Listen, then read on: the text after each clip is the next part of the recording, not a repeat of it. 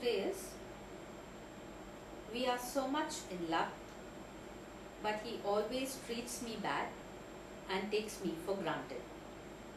I am just not able to break up with him.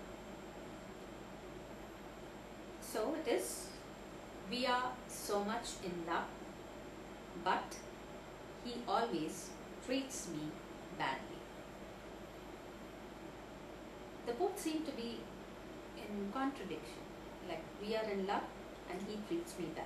If you are so much in love, here I mean if you, in, in the case of true love, when you love someone, you don't go out of your way to hurt them. When you love someone, you don't draw pleasure from you know putting them down or treating them badly. And when you love someone, you don't need to really put them down in order to feel secure.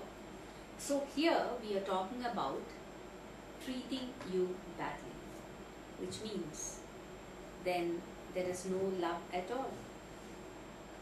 So please love yourself enough, respect yourself enough. It's not good. Uh, it's not enough if you're good. You need to be courageous. Now here you need to stand up for your rights, which is the right to be treated well as a human. Now when we are treated badly, it means we are allowing that to happen.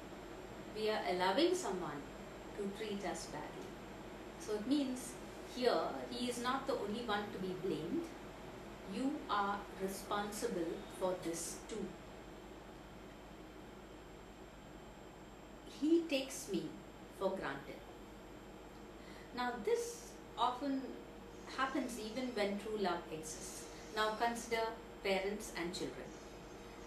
So many times, uh, yes, our parents love us, but at times they do take us for granted.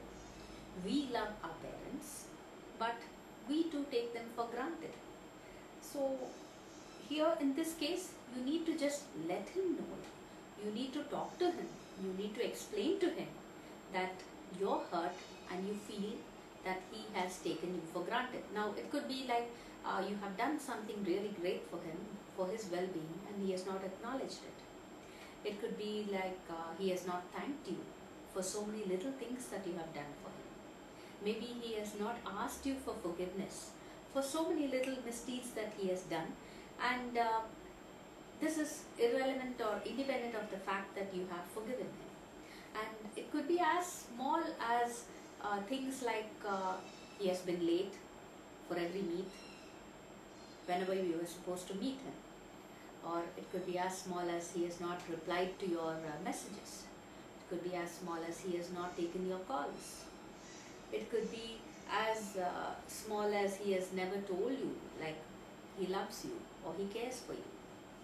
Or it could be that he has not been around when you needed him the most so it could be anything now when it comes between parents and children uh, even when you are taken for granted, it does not lead to a breakup as such.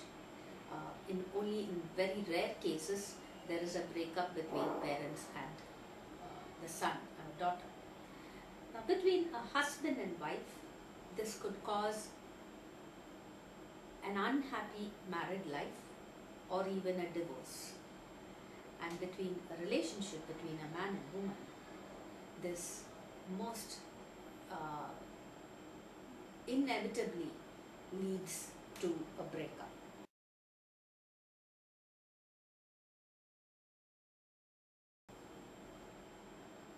But why do you put up with it? Why is it that you never utter a word though you feel you've been taken for granted?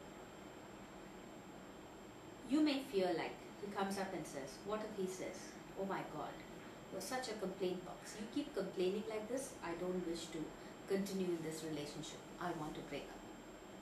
You fear that he may choose to break this relationship. But if he really loves you, this could even come as a shock to him. Maybe he has never realized the fact that he has hurt you because he has not intended to. But evidently he has hurt you and you feel that he has taken you for granted. Maybe he has never realized this. Maybe this comes as a shock to him. Maybe he even gets a glimpse of uh, the woman's world of expectations, which is quite different from a man's world. So if he really loves you, then he is sure to give it a thought. Maybe he will argue with you in the beginning, but then he will slowly realize that the fact is, though he has not intended to hurt you, that is what has happened. That is, you are hurt and you feel that he has taken you for granted. So, definitely, he will try to be more empathetic. Here I am saying try because it is very difficult for a man to live up to a woman's expectations. But then, uh, here if he loves you and he makes a genuine effort to try not to hurt you, then that by itself is a good thing. And with time, definitely things will begin to work between the two of you. Now, take mathematics. We learn the formula, we attend the class. When we listen to the uh, session being taken, when the teacher is teaching us, we feel like we have understood it. And we feel, yes, we can solve this problem. But the actual issue begins only when we begin to try and work out this problem. So, to, in order to get through the examination, we need to practice working out problems even before we clear the exam. So, between a man and woman also, we need to learn what is right and what is wrong. And then we need to keep practicing this in real life situations. This is because we are talking about 1 billion lives in this world, 1 billion life experiences and no two life experiences are alike. So we need to practice, we need to learn to enjoy this journey through life. Now coming back to our issue, suppose this person, this man does not love you. He may say that you are complaining, that he had never intended to and that he wishes to break up. In this case, I think the best thing for you would be to break up.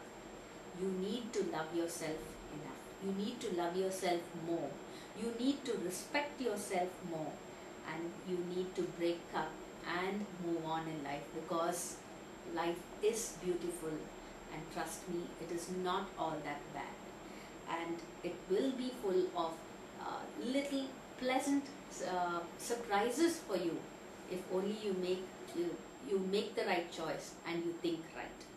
This man is a bad choice.